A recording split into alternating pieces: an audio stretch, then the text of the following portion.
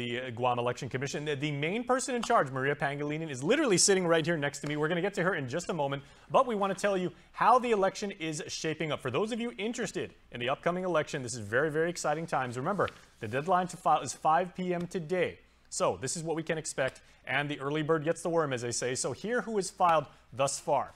Running for the governor and lieutenant governor on the Democratic ticket, you of course have the incumbent team, Lou Leon Guerrero and Josh Tenorio, the all-in team.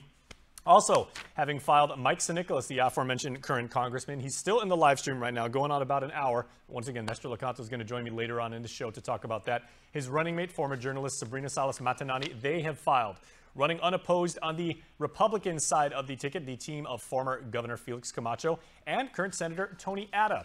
Now, let's move on to the upcoming senatorial race. Always very, very uh, very contentious. 15 seats up for grabs and vying for these seats in the forthcoming 37th legislature. Starting with the Democrats, we have Pito Terlaje. He, of course, is an in incumbent. Dwayne T. San Nicolas is also running, as well as former police chief Fred Bordallo Jr. Joe San of course, he is in charge of a lot of the financial side. He has oversight of that, uh, those matters of government. Senator San Agustin seeking reelection. Jonathan Savaris is also running. He has filed, as well as incumbent Sabina Perez. She, of course, has oversight of EPA, among other things. Tina Rose Muña Barnes, the former vice speaker of the legislature, she is seeking reelection. She has uh, gotten all of her paperwork in. Franklin Meno has run before. He is seeking uh, election, as is John Ananich II. He has previously run. He is running once again, seeking your endorsement and as a senatorial candidate. David Duenas is also running. Speaking of incumbents, Amanda Shelton. She's been in various uh, leadership positions in the current legislature, and she seeks to reclaim her seat in the next legislature. Will Parkinson has uh, been in the headlines many times. He serves on many boards and is very, very active in the community. He is running uh, for senator. Uh, looking at the Republicans, Dr. Kelly Marsh Taitano hopes to return to the legislature. You know, she just narrowly missed out on the last election. Roy Kanata is running, as well as Alexander M. Duenas. Armando Dominguez hopes to secure your endorsement for a vote, as well as Sarah Thomas Nededog, of course, a long time uh, director of Sanctuary Incorporated. She has most recently been involved during the uh, pandemic era, being in charge of the, uh, the organization dealing with homelessness and seeking to remedy that situation in our island. And yes, it is true. Chris Malfunction Barnett, our former colleague here, his first name is Daryl, if you did not know that, but Malfunction has indicated that he will be running, depending on how you look at it. If you follow him on Instagram, maybe the worst kept secret on Guam, but Chris Barnett has put his paperwork in to run for public office. Harvey Egna was one of the first candidates to get his paperwork in. He will be running for a senator on the Republican side. Incumbent Telo Taitague hopes to return for Maria. I believe this would be a fourth term? Maybe. Yeah. Yeah. Uh, Sandra Regis Seau. She is, this will be your second time running for uh, the legislature. She is running again. Tom Fisher, yes, the attorney, Tom Fisher, he is hoping to make it into as one of the 15 who will serve in the 37th legislature. He is running, I believe this would be the very first time for Tom. Uh, Ken Leon Guerrero has run several times. He is running once again. And Sam Mabini Young. You might remember she, of course, ran KGTF, the public access uh, station, public broadcasting on Guam. Dr. Sam Mabini, I should say.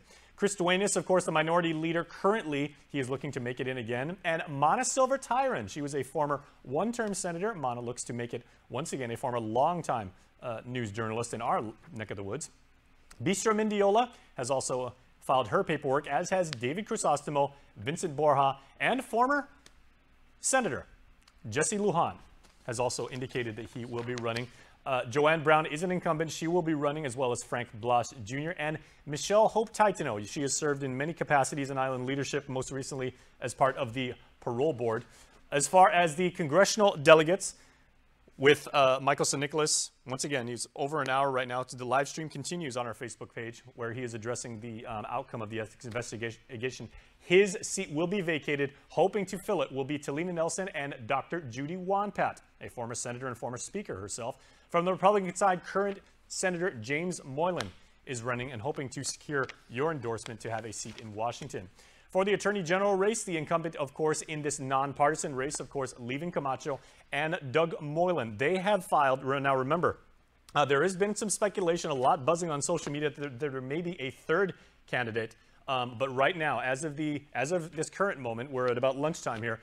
Incumbent Leevin Camacho and Doug Moylan, who Doug was the first elected Attorney General for Guam several years ago, they have been the only two candidates who have filed for the Attorney General. Uh, the deadline to file is 5 o'clock. Okay, so now, whew, that's a lot. And, and, here now, with everything you need to know about the mechanics of it, the deadlines, the one and only Maria Pangelinan. Maria, half a day. Half a day, Jason. It is so good to see you. It's so good to be here again. We've talked to you a cajillion times, but this is the first time we've actually seen you in person. But I know this time of year, you and your staff working very, very hard. You've got a lot to do, a lot of calls to make, a lot of procedures to explain. So let's unpack with maybe the most obvious one, uh, the most pressing deadline is 5 o'clock today if any citizen out there would like to run for public office. That's correct. And 5 o'clock uh, p.m. today also is the deadline. If um, the Guam Election Commission has notified you that you're still lacking signatures, mm. you're welcome to submit them up until 5 o'clock today. Okay, and how many signatures does one have to have to run? Is, is it the same number across the board or does it vary it, depending uh, on the race? The, the only difference uh, is the Governor needs 500, mm-hmm. and the senators need 250. Oh, 250 if yes, you're going to run for yes, senator. Yes. Okay. Um, is there a, a vetting process in addition to the number of signatures? Like, you know, do they do police clearance, maybe, you know, like a criminal records check and thing, things of that nature? it's a little bit cumbersome for our senator, for our, con- for all our candidates. Mm-hmm. They do have to pick up a police clearance, two court clearances, the uh, district court and the superior court clearance. Mm prior to filing. That's yes, part of their package. correct. Yeah. Yes, and they have when they come in, those uh, clearances cannot be more than 30 days old upon the date of filing. Mm-hmm. Then um, they we have notaries at our office. So the documents that need to be notarized include the certification of qualifications. I certify that I'm qualified to run. Mm-hmm. Um, the affidavit of non-conviction that I've never been convicted of a felony. Those two need to be notarized and our notaries, they can be notarized right there at the, our office. Um, they also have to make sure that an organizational report, their campaign committee and uh, campaign finance, if they have anything to report, the organizational report needs to be filed. Their public official disclosure statement, that's their financial disclosure statement, their personal assets and liabilities and how much they make. Mm-hmm. Um, that comes with the packet. Um, and then they and regardless of what you do, like you know, like you may run a business, you may be employed in you know, uh, public sector, private sector, federal, and everything. That has to be filed. Is this all a matter of public record? No. All the whole packet is okay. public record. So um, any any citizen questioning or they're just curious or they want they want to look into it, they can go and contact That's the GEC correct. for whatever yes. reason. Okay. Yes, they can okay. come and we'll show it to them. Okay, and we'll I, I do. Them sign in. I'm sorry, Maria. I do want to say because Maria actually just informed me this um, prior to this segment that that although we did not have it on that on that graphic, there were actually two more additions of uh, people that filed today. Actually, three. Three. Three. Okay. okay. So in the morning was. This is why you're the best. You know all this stuff. for for for today. Mm-hmm. So for today, um, Daryl Barnett Chris Malafunction filed, and then uh, Speaker Terlaje filed, mm. and then Mr. Roy Gamboa, I think he's still in the office, filing as we speak. Okay. Yeah, so we have three more. We don't know how many more to expect by 5 o'clock. Mm. Now, there is obviously, Maria, a strategy with this, and you know this better than anybody on the island of, you know, um, some people say, like, if, if you have a high-profile person like the speaker, and you say, she maybe has publicized it and or I'm just being hypothetical here, but if she says, I'll be filing today like at two o'clock, please join me. I would love to, you know, have my family and my friends and my supporters with me. Other candidates want to maybe like back off because they're like, okay, if the speaker is going to do it, you know, she's going to get like all, all the shine, as they call it, like all the uh-huh. limelight. Uh, but you do expect a lot of like 11th hour filers to come in. Um, hopefully not, Jason. Uh, we have uh, we're we, tomorrow time, man. oh, Jason, we're we're already busy, you know, vetting the signatures, and we want to be able. We don't want to be. We don't want to keep the candidates in suspense, mm-hmm. and so it takes a bit to vet those signatures. Okay. So we have to do it uh, in order as they come in. Is the roster considered locked as of five five oh one today? Um with with in terms of voter registration in or terms like of the with, voters? with the people who have registered like or filed their packets? Um yes. Okay. Yes. So Um, and we're still, we are still finalizing the June list of voters too, as we speak. So uh, we're working on the voter list. Uh, today, and so since I think April, our voter list we cut off every month on the 25th of the month. So we've been so as of last Saturday, we've been vetting those um, registrations, both from DMV, um, online registration, and uh, those from our volunteer registrars. Okay. So Now we're obviously in a much better position as far as you know, um, public safety and you know, like uh, with the coronavirus still being part of our life. But this is a much better situation than we were two years ago. um, how many people do you can you account for now that are registered to vote? And, Um, and we expect this to be a very participatory election because it is a gubernatorial election and because of you know, like again, the high pro- profile nature of several of the candidates. Yeah. So as of May 25th, we had 52,609 voters. Um, we are finalizing, like I said, our June list. So we we hope to climb back up. Most of our new registrants are coming from motor voter registration. So you know, sometimes it's in the hundreds, sometimes it's even up to over a thousand in one month. Okay, and- and for people watching at home who cannot get enough of this stuff, and I know there are many of you out there, if you're filling out your calendar and like planning ahead, right? Google Calendar, what have you. Um, what are some of the most important dates that people really need to to keep in the back of their mind of things coming up? For the voter, um, come July 28th, we'll start early voting. So from July 28th until August 19th, we will open the early vote center down at Westin Resort Guam. At the early vote center at the Westin Resort Guam, you can come down between 10 o'clock to 6 o'clock Tuesday through Friday. And that's starting July 28th up until August 19th. Mm-hmm. On Saturdays, we're going to go do village outreach. So on July 30th, we'll be at Okkodo High School um, from 10 o'clock to 3 o'clock.